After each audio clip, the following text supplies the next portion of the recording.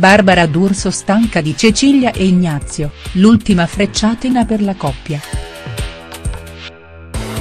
Pomeriggio 5, nuove frecciatine di Barbara D'Urso nei confronti di Cecilia Rodriguez e Ignazio Moser.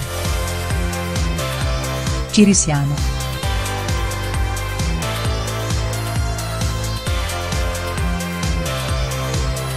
Per l'ennesima volta nel salotto di Barbara D'Urso si è discusso della storia d'amore, nata al grande fratello Vip, tra Cecilia Rodriguez e Ignazio Moser. In realtà la conduttrice non era intenzionata a parlare della coppia ma sono stati i suoi ospiti, e in particolare Biagio Danelli, a tirare in ballo la vicenda. Subito dopo ha preso la palla al balzo Milo Coretti, ex vincitore del Grande Fratello, che ha espresso tutta la propria solidarietà nei confronti di Barbara, che è stata accusata dai fratelli Rodriguez.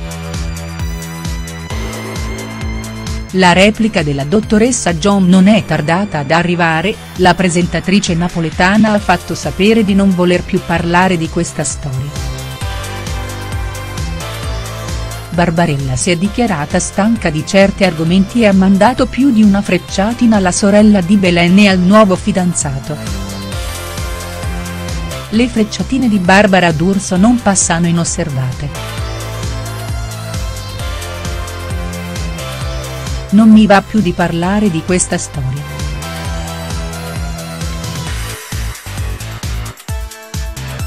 Tanto tra 20 giorni non si parlerà più del grande fratello Vip, ci sarà l'isola dei famosi ha fatto sapere Barbara D'Urso al pubblico e agli ospiti in studio.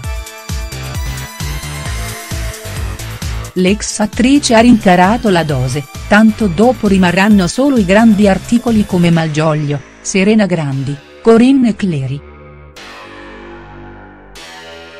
Gli altri non lo so.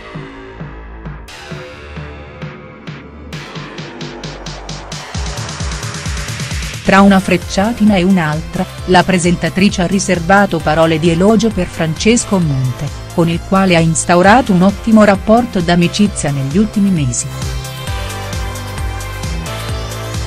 Lui è veramente un uomo.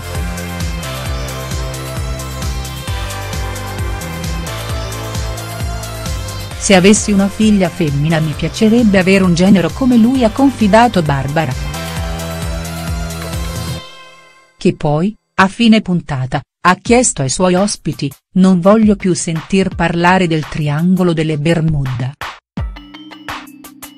L'ultimo attacco di Barbara ai fratelli Rodriguez?. Prima di oggi Barbara D'Urso aveva già attaccato i fratelli di Belen Rodriguez, Cecilia e Jeremias. In realtà sono stati quest'ultimi a dichiarare guerra alla campana, rifiutando il suo invito a partecipare a Domenica Live. La replica di Barbarella non si è fatta attendere. Sono orgogliosa che la trasmissione che conduco venga scelta solo da grandi artisti ha sentenziato.